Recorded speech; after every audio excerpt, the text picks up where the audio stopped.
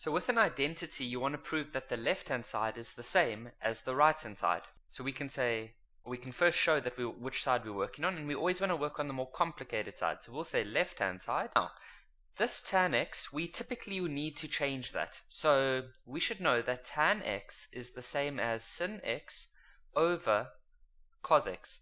And so that's going to be sin x over cos x multiplied by sin x plus cos x. And with this, you can think of this as sin x over 1. So that's just going to become sin squared x over cos x plus cos x.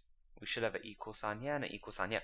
Now what you should identify is we have a denominator. So we need to get a common denominator because this cos x on the right is currently cos x over 1. And so the lowest common denominator here is going to be cos x.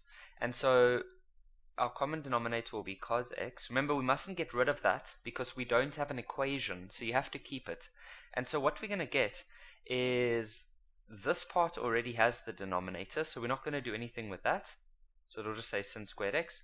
But then this part is going to be multiplied by the common denominator, and so that's going to become cos x times cos x. Now cos x times cos x is just cos squared x. And you should know that sin squared x plus cos squared x let me write that down over here for us. That's always equal to 1.